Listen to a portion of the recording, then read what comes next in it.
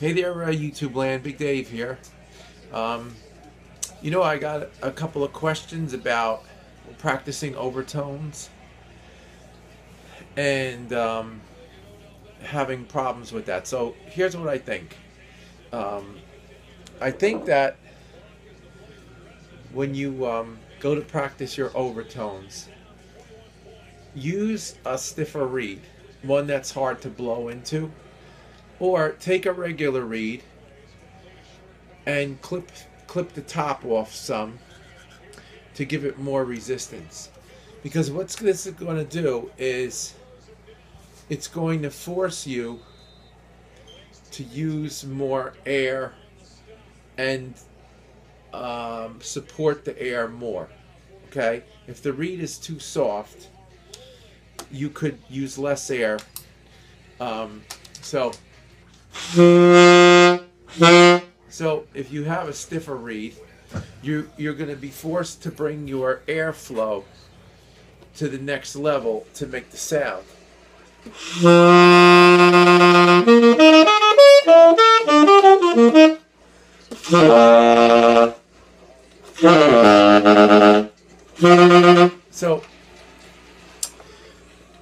This is not the kind of reed I would necessarily want to be using like on a gig or whatever. It's it's good for practice though to work on the air. You could even go stiffer than this. Um, you know, like I don't know, uh, get a reed that's not so easy to play, and then um, start you know down on your low B or B flat.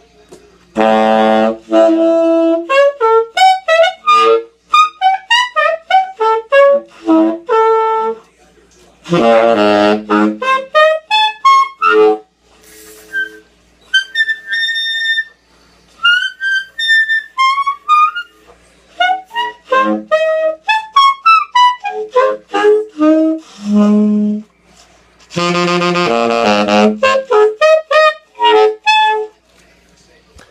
this weird vibration going on. I, I don't know if it's on the video or not.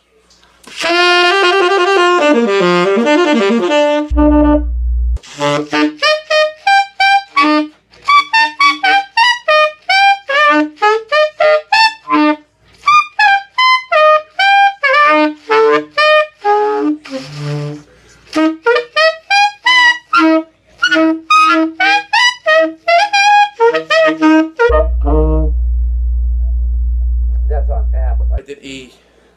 You know, you can practice them really on every note. Here's here's uh, you know, A.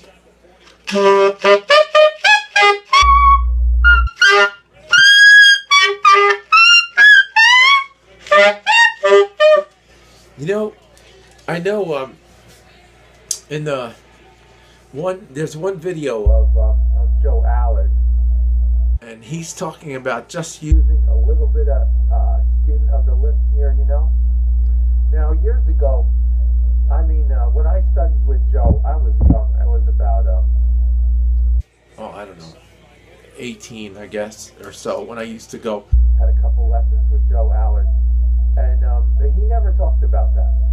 We were doing some other stuff, you know, like the um, tongue position, things like that, uh, air. Uh, some of the in-out stuff on the lip. But I watched on the video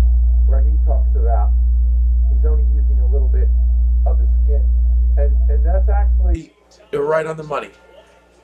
You know, because as I'm doing this.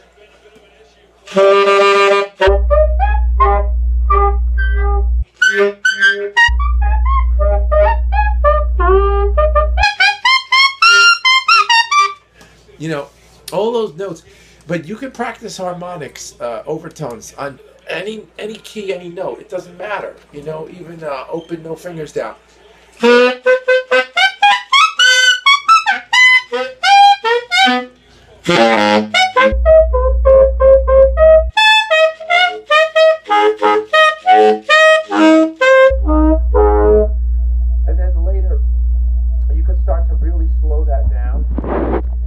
Separate them uh, you know, I mean, just hold them out.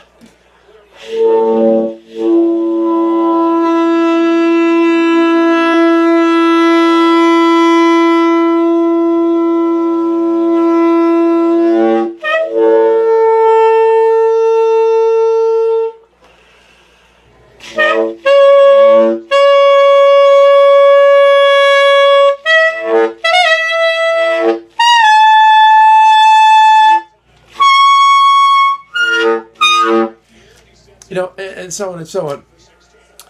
But after a while, then you can use certain dedicated fingerings to put them into your patterns.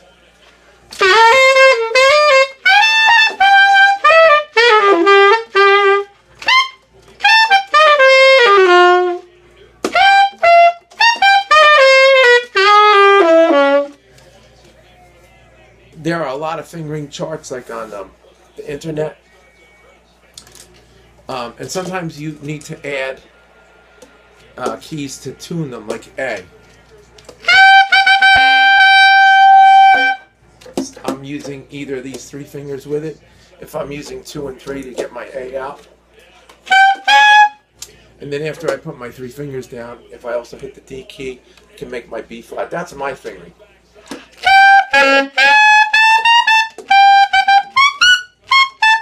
My D to the E flat. I use um, these two and the octave key. You know, uh, E I would push this side key and this. So I mean, but you have to look and try on your horn which overtones work, which harmonics work, and what fingerings. You know, um, like the high C I like to use these two and these two with the um, thumb and then I add this key on the side the high F key and the D key to go to C sharp. I use this for D. You know then if I'm going to go even higher, you start to use the low B, the low B flat. It depends. Like I know if I want to play like an F above the D, I'm going to actually use my B fingering because on my horn it plays better in tune. Although the F is really an overtone off of the B flat. For for this horn or you know just the way I play, it's better if I use the B.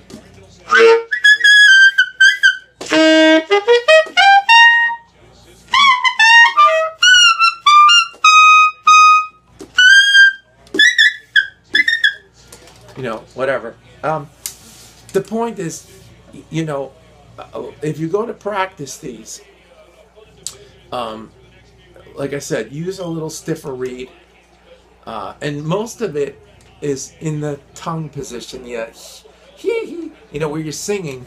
If you sing he, oh, yeah, sing the notes first.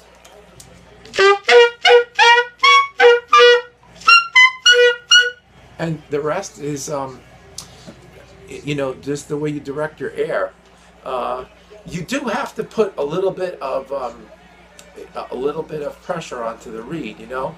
Uh, now I read on the internet you know some people say oh yeah no um, you don't do anything but you you do have to put a little bit uh, uh give it a little help with the reed. That's what I'm saying use a stiffer reed. Just give it a little um, push. Not much. I mean you're not biting through your lip but you just need to help it along to go. Um, you, you, know, most of it is going to be with the tongue position and the throat and everything, but you know, just and also like Joe Allard says in his video, get to the you know use only a little bit of skin already when you get to those super high notes.